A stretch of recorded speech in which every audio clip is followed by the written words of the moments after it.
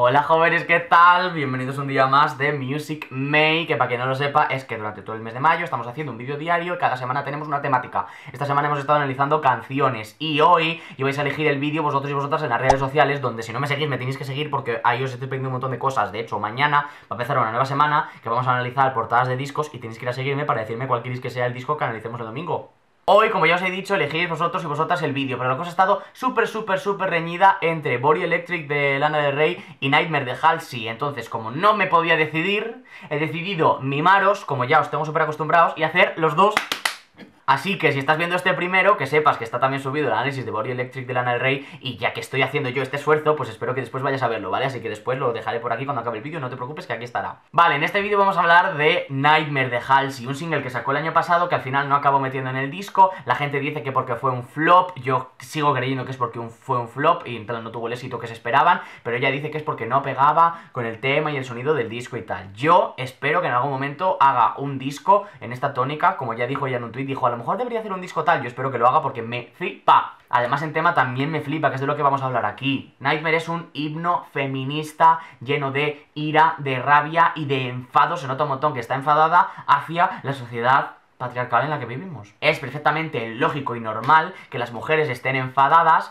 cuando ven que llevan toda la historia siendo pisoteadas, anuladas, invisibilizadas, doblegadas y castigadas. O sea, es que no es ni medio normal, entonces es normal. Entonces aquí en toda la canción está haciendo referencia a todas esas actitudes que muchas veces toman los hombres de en plan, madre mía, es que las feministas están como súper alteradas, es que están histéricas, madre mía. ¿Cómo quieres que estén? ¿Cómo coño quieres que estén? Vamos, que me parece totalmente normal que quieran romper un montón de cosas y un montón de caras, sinceramente. Y bueno, pues vamos a ir hablando de la canción trozo por trozo, ¿vale? Venga. La canción empieza con Halsey recitando una cancioncita que es una que suelen cantar los niños y las niñas cuando se van a la cama, que dicen... Me he hecho a dormir y rezo para que Dios me cuide de mi alma. Y si me muero antes de despertarme, que madre mía, vaya una cosa para cantar los niños, rezo a Dios que coja mi alma, ¿no? Como diciendo, vale, me voy a dormir y si me muero, pues espero que me lleven al cielo, ok. Está haciendo esto, obviamente, porque la canción es Nightmare, entonces ahí está ligada con los sueños, ¿vale? Vale, luego en el estribillo del que ahora hablamos, pero quiero empezar por la primera estrofa, donde dice He probado la sangre y es dulce, ¿no? Como diciendo, vale, he sufrido mucho, me han hecho probar la sangre, quiero decir, pues que cuando te dan un puñetazo, ¿qué haces? Pues saborear la sangre, entonces eh, a las mujeres les dan un montón de puñetazos metafóricos y literales constantemente todos los días. Pero esto porque es dulce, porque al fin y al cabo te está sirviendo para tener todos estos sentimientos que estás pensando aquí en esta canción, sentimientos de enfado, sentimientos de eh, ira, que se te abran los ojos y te des cuenta de la situación en la que estás. Al final es una cosa que te está haciendo mucho más fuerte. No tendrías que pasar por ella igualmente, pero bueno, ya que estás pasando por ella, pues por lo menos que aprendas algo, ¿sabes? Han tirado de la alfombra debajo de mis pies, es decir, me han intentado derrumbar. He confiado en mentiras, he confiado en los hombres, me han roto, pero me he vuelto a reconstruir, ¿no? Que al final esto es lo que hay que hacer en la vida, ¿no? Por muchos golpes que te den, por muchos obstáculos, siempre levantarte y seguir para adelante, que es lo que Halsey ha hecho y es lo que las mujeres están haciendo todos los días. Ahora hace un comentario sobre los struggles a los que las mujeres se obliga a pasar respecto a su imagen, encajar en los estándares de belleza y tal, cuando dice me he mirado en el espejo y le he dado de puñetazos hasta que lo he destrozado, ¿no? Como diciendo que es que paso de estos estándares, que es que no tengo por qué andar inspeccionando mi imagen y tal simplemente para agradarte a ti. Entonces, una vez que ha roto este espejo, ha recogido los cristales y en vez de cristales ha recogido dagas, es decir, todo esto lo ha convertido ella en un arma a su favor como vemos que está haciendo en esta canción. Y bueno, ahora tiene dos versos que son súper self-explanatory, cuando dice, me he agarrado la piel así con dos dedos y he deseado poder cortar con las tijeras, ¿no? Como diciendo, vale, a lo mejor tenía que un Michelin y como el mundo me estaba diciendo que yo no tenía que tener un Michelin porque tengo que ser skinny, pues me he deseado quitarme este Michelin. Ahora reproduce unas palabras que las mujeres escuchan muchísimo, de hecho yo he presenciado momentos en los que se le ha dicho a alguna mujer esto de venga, anda, sonríe un poquito, que estás más guapa, o venga, anda, no estés tan enfadada, que se te quita lo guapo. Y dice, es que no tengo nada por lo que estás sonriendo, porque estoy enfadada. Vamos a ver, la situación de las mujeres ahora mismo es bastante inferior a lo que debería ser. ¿Por qué voy a andar sonriendo? No, no, estoy hasta los huevos. Pero dice, he esperado bastante para un momento en el que decirte que no te debo nada. O sea, no te debo ser dulce, no te debo sonreírte, no te debo complacerte. Y he esperado mucho tiempo, quiere decir que he tardado mucho tiempo en darme cuenta de ello. He tardado mucho tiempo en tener la fuerza y la valentía necesarias como para plantarte cara y decirte que te vayas a la mierda. Y ahora llega el estribillo en el que dice, llevo una lista de toda la destrucción en mi vida, con lo que se está apoderando de todas las desgracias, todos los obstáculos, todas las caídas que ha tenido en la vida, ¿no? Porque es como que las está celebrando. Tengo que reconocer el arma de mi mente, su mente, sus ideas, el arte que hace, esta misma canción, son un arma, un arma para luchar, pues en este caso contra el patriarcado, pero en otros casos para luchar contra sus demonios internos expresando sus cosas, para luchar contra las confusiones que tiene su mente y algunas veces le sirven para ordenar sus ideas y tal. Bueno, pues cualquier persona que cree, cualquier persona que escriba, cualquier persona que haga arte lo entenderá.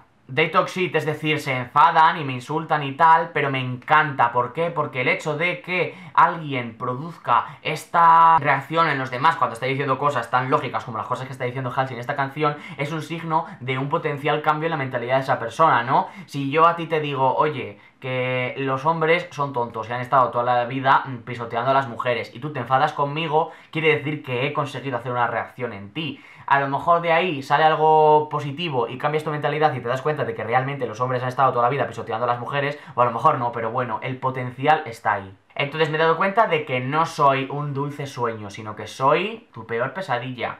Al igual que el feminismo es la peor pesadilla del patriarcado. Luego en la segunda estrofa sigue desarrollando en este tema de estar enfadada cuando dice, no, no voy a sonreír, pero te voy a enseñar mis dientes, es decir, ten cuidado que es que te voy a morder. Te voy a arrancar las orejas. Te voy a dejar hablar, pero si me dejas respirar, como diciendo, por favor, eh, dejarme en paz a las mujeres, por favor, ya está. He sido educada, pero es que al final esto me va a llevar a morirme. O sea, paso de callarme para evitar confrontaciones, para complacer a los demás y tal, porque es que yo directamente no tendría que estar pasando por las cosas que estoy pasando hablando por todas las mujeres del mundo, ¿no? Las mujeres muchas veces tienen que callarse y asentir y sonreír con tal de no meterse en un berenjenal por llamar la atención sobre comportamientos misóginos o machistas, porque ya saben que la respuesta con la que se van a encontrar es, madre mía, de verdad, qué exagerada eres, de verdad, es que el feminismo te tiene la cabeza comida, si es que, de verdad, estáis ahí a la defensiva siempre esperando cualquier cosa para saltar.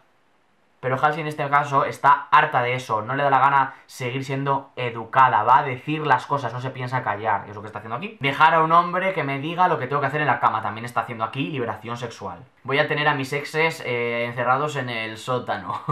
Igual que Beyoncé tiene a Sia, ¿no? En el suyo. Es decir, yo creo que lo que está haciendo aquí es como decir, vale, es que mi narrativa no va a estar basada en la narrativa de los hombres con los que estoy. Mi narrativa tiene que estar basada en mí misma. Los hombres con los que estoy son accesorios a mí. Es decir, las mujeres no tenemos que existir en relación a la existencia de los hombres. Existimos por nosotras mismas. Porque ser buena te hace débil, o peor, te hace complaciente. Es decir, es peor ser complaciente y de hacer todas estas cosas que hemos dicho, ¿no? De asentir y tal cuando estás incómoda con cosas que te están diciendo que están fuera de lugar totalmente, pero simplemente lo haces así para evitar confrontamientos, eso es todavía peor que ser débil. Ser débil al final no es nada negativo, eres débil y punto final, pero ser complaciente es peor todavía porque te está anulando a ti misma. Puedo ser maja o también puedo ser una abusona estoy cansada y enfadada, pero es que alguien tiene que estarlo, exactamente, ¿no?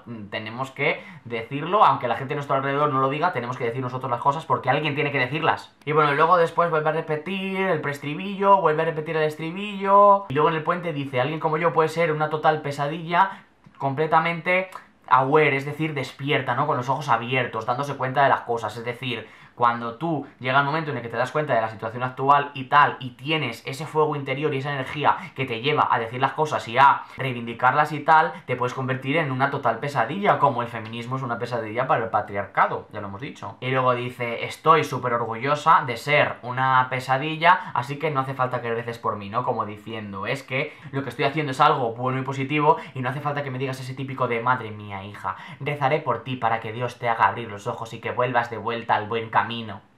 Porque a lo mejor es que ya está en el buen camino, así que no hace falta que por mí, ¿eh? Y bueno, ya está, porque luego después repite el estribillo y tal y se termina la canción. Y esto es lo que nos está contando, o sea, es un himno, ya os he dicho al principio, de feminismo y de ira y agresividad, que es una de las maneras que tenemos las personas de expresar nuestras cosas, obviamente, y como ya hemos visto, es perfectamente normal que las mujeres tengan ese fuego dentro de ellas que las lleve a querer romper un montón de cosas. Vamos, yo que lo entiendo perfectamente. Así que nada, babies, que esto ha sido, que espero que os haya gustado. Por supuesto, tenéis los comentarios aquí para añadir, refutar, decir todas vuestras ideas y todo lo que queréis decirme que yo os estaré leyendo, ¿ok? Y que nada, que espero que os haya gustado mucho, que vayáis a las redes sociales, por supuesto, para todo lo que os he dicho antes, que mañana empezamos una nueva semana y os subiré el nuevo planning de las portadas de los discos. Ir a ver el vídeo del análisis de la Del Rey si no lo habéis visto ya, porque para eso he hecho los dos, hombre, para que lo veáis. Y que ya está, que suscribáis si no lo habéis hecho todavía, darle a la campanita para que salga notificación cuando suba nuevos vídeos tal cual y todas esas cosas, ¿ok? Y yo me despido y nos vemos en el próximo vídeo. Chao.